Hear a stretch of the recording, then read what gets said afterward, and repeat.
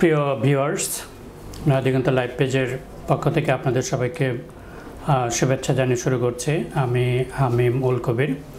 আজকে আমাদের স্টুডিওতে এসেছেন বিশিষ্ট medical educationist Bangladesh public health ফাউন্ডেশনের প্রতিষ্ঠাতা, সভাপতি বিশ্ব স্বাস্থ্য সংস্থার দক্ষিণ এশীয় অঞ্চলের উপদেষ্টা প্রফেসর মুজাহিরুল হক।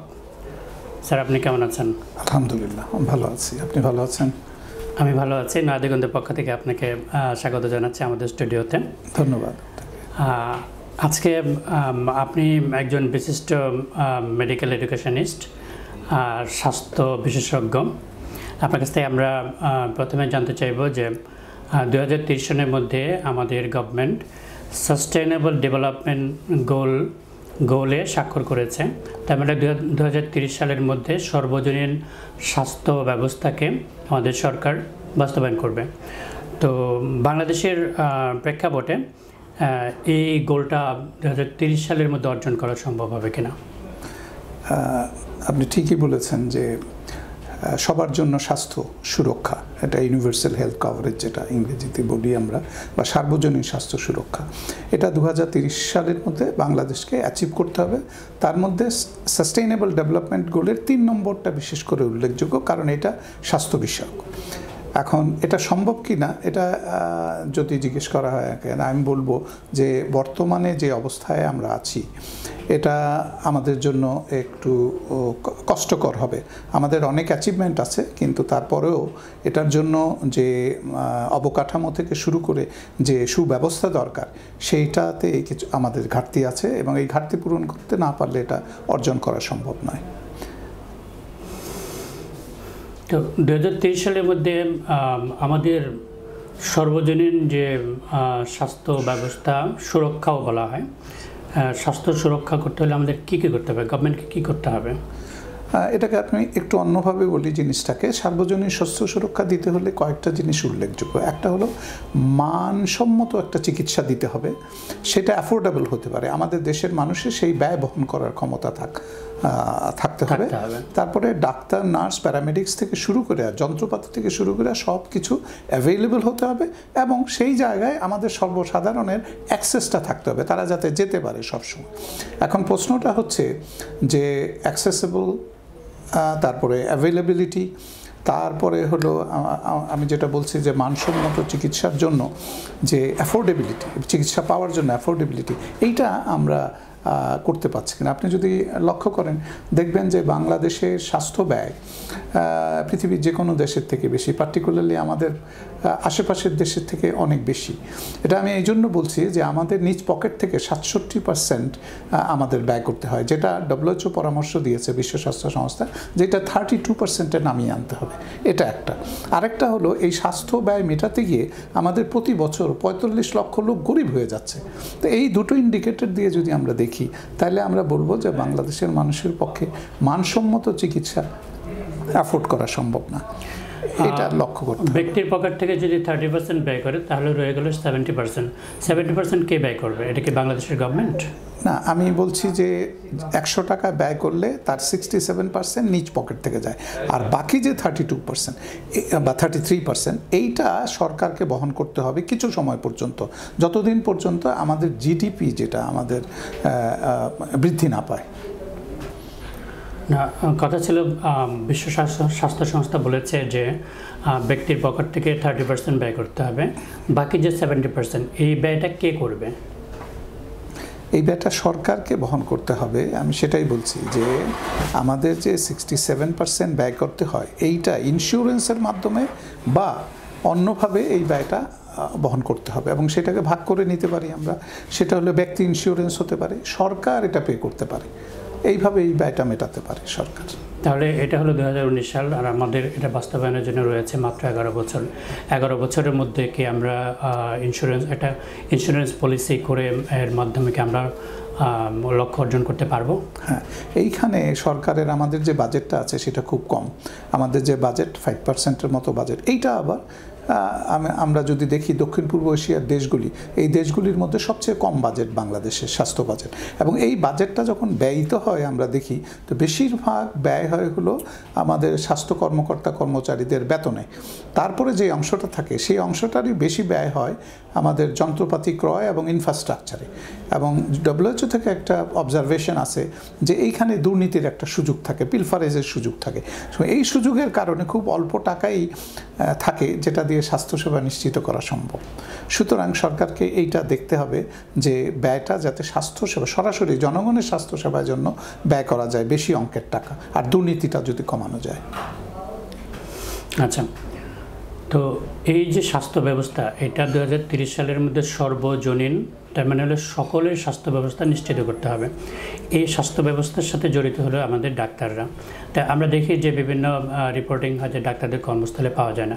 এটা কি পাওয়া যায় না তাদেরকে? এটা কি আমাদের ডাক্তারদের সংখ্যা স্বল্পতা রয়েছে? না অন্য অন্য কোনো কারণ রয়েছে যে তারা কর্মস্থলে থাকে না? আমি একদম সরাসরি বলব যে সেটা হলো স্বল্প সংখ্যক তো দূরের কথা। আমাদের সংখ্যাধিক্য আছে ডাক্তারের। কিন্তু ব্যবস্থাপনায় আমাদের কিন্তু গভর্নেন্স বা ব্যবস্থাপনার ভিতরে আমাদের দুর্বলতা আছে। যতদিন পর্যন্ত আমরা এই ব্যবস্থাপনার দুর্বলতাটাকে শক্তিশালী করতে পারব, ততদিন পর্যন্ত আমাদের যে ডাক্তার আছে, তাদের প্রপার ইউটিলাইজ করা সম্ভব হবে না। এবং তাদেরকে ইউটিলাইজ করতে না পারলে, এই যে আপনারা যে সংখ্যা স্বল্পতাটা পান অনেক সময়, এটার ভিন্ন কারণ আছে। সরকার কিন্তু সেই সমস্ত জায়গায় নিয়োগ দিয়েছেন, আবার সরকারই সেইখান থেকে ডাক্তার সরিয়ে নেন, আবার অনেকে অনুপস্থিত থাকেন, আবার অনেকে পড়াশোনা করতে যান। মানে ব্যবস্থাপনার একটা দুর্বলতার কারণে এই ডাক্তারদের ঘাটতিটা দেখা যায়। আরেকটা জিনিস সব বড় দুর্বলতা হলো সরকারের কোনো স্ট্র্যাটেজিক প্ল্যানিং নাই হিউম্যান রিসোর্স ডেভেলপমেন্টের জন্য। আমাদের কত ডাক্তার প্রয়োজন আছে এখন এবং কত ডাক্তার আজকে থেকে দু সাল বা পঞ্চাশ সালে আমাদের লাগবে, এরকম কোনো সেই অনুযায়ী তৈরি করার মতো আমাদের কোনো প্ল্যানিং নাই। আমাদের কোনো পলিসিও নাই। যেই কারণে আবার স্পেশালিস্ট তৈরি, কোন সব বিষয়ে কত, কোন স্পেশালিস্ট লাগবে, কতজন লাগবে সারা বাংলাদেশকে স্বাস্থ্যসেবা দেওয়ার জন্য, সে ধরনের কোনো প্ল্যানিংও নাই। তো সরকারের যেটা প্রথম এখন করা দরকার, সেটা হলো যে একটা স্ট্র্যাটেজিক প্ল্যানিং করা, ডাক্তার কতজন কোথায় তৈরি হবে, কোন ডিসিপ্লিনের তৈরি হবে, সেগুলি ঠিক করা এবং তাদেরকে সুন্দর ব্যবস্থাপনার মাধ্যমে প্রপার জায়গায় প্লেস করা। আরেকটা জিনিস যেটা করতে হবে, সেটা হলো আমাদের ডাক্তার প্রয়োজনটা কোথায়? আমাদের উপজেলা হেলথ কমপ্লেক্সগুলি কিন্তু ফাংশনাল না। থার্টি থেকে ফিফটি বেডের এক একটা উপজেলা হেলথ কমপ্লেক্স এগুলি প্রপারলি ফাংশনাল না। কার্যকর স্বাস্থ্য ব্যবস্থা যদি করতে হয়, তাহলে এইগুলিকে আগে কার্যকর করতে হবে। সেখানকার ডাক্তারের থাকা থেকে নিশ্চয়তা বিধান করা সহ ওইখানে তাদের যা প্রয়োজন প্রকৃত স্বাস্থ্যসেবার জন্য একটা উপজেলা স্বাস্থ্য উপজেলার জনগোষ্ঠীকে সেটা নিশ্চিত করা সরকারের প্রাথমিক দায়িত্ব হওয়া উচিত। এবং এই জন্য আমাদের যে ইউনিয়ন থেকে শুরু করে বা আমাদের কমিউনিটি ক্লিনিক থেকে শুরু করে একটা সুন্দর রেফারেন্স সিস্টেম থাকতে হবে।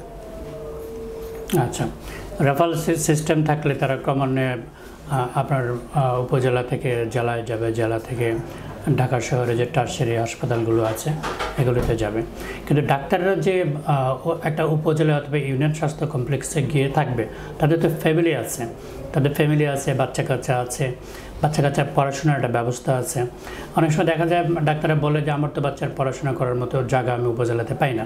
হ্যাঁ, সেজন্য অনেক সময় তারা উপজেলাতে থাকলেও তাদের ফ্যামিলি থাকে ঢাকায় অথবা অন্য কোথাও। সে কারণে তারা ওই ফ্যামিলি দেখাশোনা করার জন্য তারা সপ্তাহের একটা সময় চলে যায়। তো উপজেলার স্বাস্থ্য কমপ্লেক্সে অথবা ইউনিয়ন অন্তর্পক্ষে উপজেলা স্বাস্থ্য কমপ্লেক্সে ডাক্তারদের মানে যেন থাকতে পারে, স্কুল কলেজ এই ধরনের ব্যবস্থা সরকার করতে পারে কিনা। দেখেন একটা জিনিস লক্ষ্য করলে দেখবেন আমরা ডাক্তাররাই কিন্তু একমাত্র কর্মকর্তা না সেখানে। কিন্তু অনুপস্থিতির দিকটা দেখলে দেখা যায় যে ডাক্তারদের অনুপস্থিতিটা চোখে পড়ার মতো কারণ ডাক্তারদেরকে সার্বক্ষণিকভাবে লোক চায় ওখানে থাকুক। এবং এইটার জন্য বাংলাদেশে যে ইনফ্রাস্ট্রাকচার আছে দ্যাট ইজ ইউনিক আমাদের উপজেলাতে। তবে সরকারের আমি যেটা ব্যবস্থাপনার দুর্বলতা বলেছি, সেই জায়গাটায় এই জিনিসগুলি আসবে। কারণ একটা উপজেলায় এখন কিন্তু প্রাইমারি স্কুল না শুধু, উন্নত মানের সরকারি স্কুল এবং কলেজ কিন্তু এখন প্রতিটি উপজেলাই আছে। সুতরাং পড়াশোনার সুযোগ নাই এটা বলা ঠিক হবে না। হ্যাঁ তবে আপনি ঢাকায় যে পড়াশোনার সুযোগ বা মানসম্মত পড়াশোনার, অতটা হয়তো না পেতে পারেন। কিন্তু ক্লাস টেন পর্যন্ত ম্যাট্রিক পাস বা ইন্টারমিডিয়েট পড়ার পর্যন্ত ভালো সরকারি স্কুল এবং কলেজ কিন্তু আজকাল উপজেলায় আছে। তবে বাসস্থান এবং অন্যান্য সুযোগ সুবিধা সেটা হলো বাস, সেটা হলো ব্যবস্থাপনার ব্যাপার। সরকার কিন্তু এটা নিশ্চিত করতে পারে চাইলে প্রায়োরিটি বেসিসে আচ্ছা সর্বজনীন স্বাস্থ্য যে সুরক্ষা আছে, এইটার সাথে কমিউনিটি ক্লিনিকের একটা সম্পর্ক আছে। কমিউনিটি ক্লিনিক ক্লিনিক সম্বন্ধে আপনি বলুন। আমার ব্যক্তিগত অভিজ্ঞতা যদি আমি বলি আমার ওয়ার্ডে কোনো কমিউনিটি ক্লিনিক নাই। এবং এটা কিন্তু আমার যে গ্রামে আমি মুন্সীগঞ্জ বাড়ি আমার। এবং আমার যে আমার আমার যে ব্যক্তি ওয়ার্ডটা সেই ওয়ার্ডেই কোনো কমিউনিটি ক্লিনিক নাই। এটা হলো একটা দিক আর কি। তারপরেও আমি বলব যে কমিউনিটি ক্লিনিকটা সুন্দর সেবা দিতে পারে, একটা প্রাইমারি কেয়ার সেন্টার যেখান থেকে রেফার করে দিবে। তো কিন্তু এইখার জন্য যে জনবল দরকার সেখানে, সেই জনবলকে প্রকৃতভাবে প্রশিক্ষণ দিতে হবে এবং প্রশিক্ষণের পরে তাদেরকে মনিটর করতে হবে। এইগুলি যদি করা যায় মনিটর করা এবং কন্টিনিউ এডুকেশন তাদেরকে কিন্তু প্রশিক্ষণের মাধ্যমে উন্নত করতে পারি আমরা, অনেক উন্নত করতে পারি। এবং জনগণ তখনই কমিউনিটি ক্লিনিকে যাবে, যখন দেখবে যে স্বাস্থ্যসেবা সেখানে আমি পাচ্ছি। যতটুকুই হোক প্রাইমারি পাচ্ছি, তারপরে রেফার করে পাঠিয়ে দিচ্ছি ইউনিয়নে বা উপজেলায় যেখানে বা জেলায়। এই সুযোগ রেফারেল সিস্টেমটা যদি এস্টাবলিশ করা না যায়, তাহলে কমিউনিটি ক্লিনিক কোনো দিন ফাংশনাল হবে না। কারণ জনগণ প্রথম একটা অসুস্থতা নিয়ে যাবে, কিন্তু ডিসস্যাটিসফাইড হয়ে চলে আসবে, তারপরে আসে যাওয়ার প্রবণতাটা তার আর থাকবে না। আচ্ছা জনগণের স্বাস্থ্য সুরক্ষার সাথে সম্পর্কিত। সামনে যে দিনগুলো আসছে, আমাদের কমিউনিকেবল ডিজিজের চেয়ে নন কমিউনিকেবল ডিজিজটা বেড়ে যাচ্ছে। তাহলে নন কমিউনিকেবল ডিজিজ ডিজিজ থেকে উত্তরণ ঘটাতে আমরা, আমাদের গভর্নমেন্ট কী করতে পারে? এটা একটা খুব সুন্দর প্রশ্ন, আপনার একজন বর্তমানের বাস্তবতা নন কমিউনিকেবল ডিজিজ এবং আমরা যদি দেখি এটা, ধরেন স্ট্রোক হার্ট অ্যাটাক তারপরে ক্যান্সার ডায়াবেটিস এই ধরনের রোগগুলিকে আমরা নন কমিউনিকেবল ডিজিজ বলছি। এখন কথা হলো এগুলির জন্য কোনো সেবা কিন্তু ওই নিচের লেভেলে নাই। আপনি ডায়াগনোসিসের সুবিধাও নাই ওয়ার্ড পর্যায়ে ইউনিয়ন পর্যায়ে অনেক রোগের আর চিকিৎসা সুবিধা তো নাই বললেই চলে। তবে হ্যাঁ আসার কথা এই, সরকার কিন্তু কার্ডিওলজিস্টের একটা প্রভিশন সৃষ্টি করেছেন আমাদের উপজেলায় কিন্তু দুর্ভাগ্যের বিষয় হলো যে কার্ডিওলজিস্ট যে সেখানে ফাংশন করবেন, তার যে আনুষাঙ্গিক যে জিনিসগুলি দরকার, তা কিন্তু নাই। ওখানে একজন সার্জনও থাকেন, কিন্তু সার্জনের জন্য একটা অপারেশন থিয়েটার আছে। কিন্তু বেশিরভাগ ক্ষেত্রে দেখা যায় যে সেই অপারেশন থিয়েটার ফাংশনাল না। তো এখন নন কমিউনিকেবল ডিজিজের বেলায় যে জিনিসগুলি এনশিওর করতে হবে, সেটা হলো প্রিভেনশন প্রিভেনশন আমরা স্বাস্থ্য ব্যয়, আমরা আগেই আলাপ করেছি যে একটা বিরাট অঙ্ক আমাদের পকেট থেকে ব্যয় করতে হয় স্বাস্থ্যসেবার জন্য। কিন্তু আমরা যদি এই ব্যয়টা কমিয়ে আনতে পারি মিরাকুলাসলি কমিয়ে আনতে পারি আমরা, কীভাবে? আমরা যদি গ্রামের লোকগুলিকে স্বাস্থ্য সম্বন্ধে জ্ঞান দিতে পারি অ্যাওয়ারনেস দিতে পারি যে কীভাবে রোগ প্রতিরোধ করা যায় যেমন টিকা দিয়ে আমরা অনেক রোগ প্রিভেন্ট করি না সেই রকম কিন্তু সম, ওই অনেক রোগী, বিশেষ করে নন কমিউনিটেবল ডিজিজগুলি প্রিভেন্ট করা যায়। এই প্রিভেনশনের দিকে সরকারকে নজর দিতে হবে মানে এটা জনস্বাস্থ্য। আমাদের জনস্বাস্থ্যটাকে গুরুত্ব দিতে হবে সরকারে, যাতে মানুষের রোগ না হয় এবং রোগ হলে যাতে প্রাইমারি অবস্থায় চিকিৎসা পায়। তো প্রাইমারি অবস্থায় চিকিৎসা পাওয়ার জন্য একটা সুব্যবস্থা আছে কমিউনিটি ক্লিনিক থেকে উপজেলা হেলথ কমপ্লেক্স পর্যন্ত। কিন্তু আমরা যখন কি ব্যয়বহুল রোগগুলির কথা ধরি, আপনি ক্যান্সারের কথা ধরি হার্ট অ্যাটাকের কথা ধরি, এইগুলি কিন্তু প্রিভেন্ট করা সম্ভব। এবং আমাদের যেটা করতে পারি আমরা, সেটা উপজেলায় এলাকা ভিত্তিক যদি আমরা যত স্কুল, কলেজ আছে, সেখানে যদি আমরা এটাকে বলি হলো হেলদি লাইফস্টাইল আমরা যদি হেলদি লাইফস্টাইলটা যদি আমাদের দেশের জনগণকে শিখিয়ে দিতে পারি তাহলে আমরা নন কমিউনিকেবল ডিজিজের যে প্রকোপটা, এটা কিন্তু অনেক কমিয়ে আসবে। সরকারের এটাকে কিন্তু জনস্বাস্থ্যটাকে প্রায়োরিটি দেওয়া উচিত। তাহলে মানুষের সেবা, স্বাস্থ্যসেবার যে ব্যয়টা, সেটা অনেক কমে যাবে। হেলদি লাইফস্টাইলটা বলতে আপনি কি বোঝাচ্ছেন? এটা হলো সোজা কথায় যেটা বলে যে স্বাস্থ্যকর জীবন আচার। মানে যেমন স্মোকিং একটা ব্যাড হ্যাবিট কথার কথা। ঠিক আছে? ধূমপানটা ত্যাগ করতে হবে। এটা কিন্তু গ্রামাঞ্চলে একটু প্রবণতা আছে অনেকের। তো এই ধূমপান থেকে কিন্তু আমরা ক্যান্সার থেকে শুরু করে এই ডায়াবেটিস থেকে শুরু করে হার্ট অ্যাটাক থেকে শুরু করে স্ট্রোক থেকে শুরু করে বিভিন্ন রোগ থেকে কিন্তু রেহাই পেতে পারি আমাদের। এটা একটা। আরেকটা হলো অ্যাক্টিভিটিস অ্যাক্টিভিটিসের মধ্যে ধরেন আমাদের মানুষের যদি হাঁটার অভ্যাস করাতে পারি বা সাইকেলে চড়াতে পারি, আজকাল দেখেন গ্রামে, গঞ্জে পর্যন্ত সাইকেল রিক্সা হয়ে গেছে। আবার রিক্সাটা কি? মোটরাইজড রিক্সা। তারপরে আপনার ট্রাই হুইলার এই যে ব্যাটারি চালিত। এগুলি হওয়ার কারণে মানুষ আগে যে অনেক দূর দূরান্তে হেঁটে যেত সেগুলি কিন্তু নাই। এখন আর হাঁটে না। সুতরাং এই তাদেরকে এই হাঁটার অভ্যাসটাও যদি আমরা করাতে পারি তাহলেও তারা ব্লাড প্রেশার এবং হার্ট অ্যাটাক স্ট্রোক থেকে শুরু করে ডায়াবেটিস এই সমস্ত রোগ থেকে বেঁচে থাকতে পারে। তা আমাদের সরকারের যেটা করতে হবে এই জিনিসগুলি জনসাধারণকে কিন্তু আপনাদের যেরকম মিডিয়া যারা আছেন, তাদেরকে কিন্তু এগুলি প্রচার করতে হবে। এর মাধ্যমে আমরা যদি অ্যাওয়্যার করতে পারি তাহলে কিন্তু জনসাধারণ এগুলি অ্যাডপ্ট করবে, কারণ কেউই রোগে ভুগতে চায় না। স্বাস্থ্যবান থাকতে পারবে নন কমিউনিকেবল ডিজিজ থেকে বেঁচে থাকতে পারবে, এবং একটা স্বাস্থ্যবান জাতি কিন্তু উন্নত জাতি হওয়ার পক্ষে। কারণ আপনি দেখবেন, পৃথিবীর উন্নত জাতিগুলি স্বাস্থ্যবান জাতি। তো বাংলাদেশকে স্বাস্থ্যবান উন্নত জাতি হতে হলে প্রথমে স্বাস্থ্যবান জাতি হতে হবে। আচ্ছা। হেলদি হেলদি লাইফস্টাইলের সাথে আবার খাবারের একটা সংযোগ আছে। সেই খাবারের ব্যাপারে জনগণ কি করতে পারে?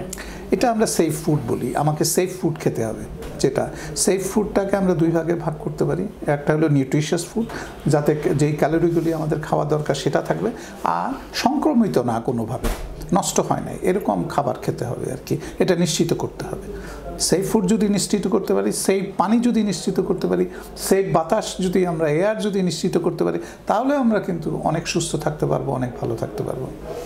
আচ্ছা এটা ভালো স্বাস্থ্য ব্যবস্থা গড়ে তুলতে হলে এটার সাথে মেডিকেল এডুকেশনের একটা সম্পর্ক আছে। একজন মানে সুশিক্ষায় শিক্ষিত ডাক্তার জনগণের ভালো চিকিৎসা সেবা দিতে পারে। তো বাংলাদেশের মেডিকেল শিক্ষা শিক্ষার কী অবস্থা? আমাদের, আমি আমি এটা আমার ব্যক্তিগত অভিমত হবে এবং একটা সুচিন্তিত অভিমত এটা আমার। সেটা হলো বাংলাদেশে চিকিৎসা শিক্ষার মান বা মেডিকেল এডুকেশনের মান সর্বকালের সর্বনিম্নে। যেই প্রশিক্ষণ দিয়ে আমরা এখন ডাক্তার তৈরি করছি, এরা সত্যিকারেরভাবে স্বাস্থ্য ব্যবস্থায় কতটুকু অবকান, অবদান রাখতে পারবে আমার যথেষ্ট সন্দেহ আছে। সুতরাং সরকারকে এটা অত্যন্ত গুরুত্ব সহকারে দেখতে হবে যাতে আমরা সুচিকিৎসক তৈরি করতে পারি, মানসম্মত চিকিৎসক তৈরি করতে পারি। মানসম্মত চিকিৎসক হলো পূর্ব সত্য মানসম্মত স্বাস্থ্যসেবার। আচ্ছা আমরা দেখতে পাচ্ছি যে আপনার মেডিকেল এডুকেশন ডাক্তার বাড়ানোর জন্য সরকারি মেডিকেল কলেজ তো তৈরি হচ্ছে আবার বেসরকারি মেডিকেলের অনুমোদন সরকার দিয়ে যাচ্ছে একটা পর একটা। ইতিমধ্যে আমাদের সরকারি এবং বেসরকারি মিলিয়ে একশোর উপরে মেডিকেল কলেজ রয়েছে। আমাদের কি এই জনগোষ্ঠীর জন্য আরও মেডিকেল কলেজ প্রয়োজন? অবশ্যই না। অবশ্যই না বরং এখন সরকারের যেটা করা দরকার সেটা হলো আপনি যেটা বললেন যে একশোর উপরে মেডিকেল কলেজ আছে প্রাইভেট এবং গভর্নমেন্ট মিলে। তো এখন কথা হচ্ছে আপনি যদি পৃথিবীর অন্যান্য রাষ্ট্রগুলি দেখেন আমি অবশ্যই আমাদের পার্শ্ববর্তী রাষ্ট্র ভারতের কথা বলব না ইভেন আমি নেপালের কথা বলব। তারা রিসেন্টলি যে সিদ্ধান্ত নিয়েছে তারা আর নতুন কোনো মেডিকেল কলেজকে পারমিশন দিচ্ছে না এবং এক্সিস্টিং মেডিকেল কলেজগুলি থেকে ছাত্র সংখ্যা কমিয়ে দিয়েছে। যাতে ভালো প্রশিক্ষণ দিতে পারেন। তো এখন আমাদের চিন্তা করার সময় এসছে যে আমরা যেমন একটা ঘোষণা এসছে যে প্রতি জেলায় মেডিকেল কলেজ আমাদের মেডিকেল কলেজ প্রয়োজন। আমরা একটা মেডিকেল কলেজ করতে পারি, কিন্তু আমার যে এখন যে ডাক্তার বাংলাদেশে অ্যাভেলেবল ডাক্তার, বেকার ডাক্তার আছে, আমরা এদেরকে কিন্তু প্রভিশন তৈরি করতে পারতেছি না চাকরির। আর এইভাবে যদি কন্টিনিউয়াসলি প্রতি বছর তৈরি করতে থাকে দু সালে আমরা যদি চিন্তা করি, আমাদের দেশে ডাক্তারের যে সারপ্লাস হবে, এই ডাক্তারগুলি কি করবে? কোথায় যাবে? কারণ তাদের তো চাকরির নিশ্চয়তা নাই। তারপরে আপনি প্রাইভেটলিও তারা কোনো চাকরি করার সুযোগ হবে না। আর আমাদের শিক্ষার যে মান, এই শিক্ষার মান নিয়ে উন্নত পড়াশোনা যেমন করতে পারবে না আবার বিদেশে চাকরিও করতে পারবে না। সুতরাং এটা আমাদের জন্য একটা বড় বোঝা হয়ে দাঁড়াবে। সরকারকে এখনই চিন্তা করতে হবে এই বিষয়টা গুণগত শিক্ষাকে শিক্ষার দিকে নজর দিতে হবে। মানসম্মত শিক্ষার দিকে নজর দিতে হবে যাতে মানসম্মত সেবা নিশ্চিত করতে পারে। Right. তো আমরা আমাদের সময়ের শেষ দিকে চলে এসেছি। আমরা আমাদের স্টুডিওতে আপনাকে আবারও আমন্ত্রণ জানাব। দর্শক আমরা এতক্ষণ কথা বলছিলাম প্রফেসর ডাক্তার মুজাহিদুল হক হক স্যারের সাথে। তিনি কাজ করেছেন বিশ্ব স্বাস্থ্য সংস্থায়। প্রিয় দর্শক, আমাদের নয়া দিগন্তের আমাদের নয়াদিগঞ্জের লাইভ পেজটা আছে লাইভ পেজটা আপনারা সাবস্ক্রাইব করুন। সাবস্ক্রাইব করলে এই- ধরনের যে টক শো আছে টক শো টক শোর সর্বশেষ সংস্করণগুলো আপনাদের কাছে চলে যাবে। ততক্ষণের জন্য আপনাদের সবাইকে শুভেচ্ছা জানিয়ে শেষ করছি।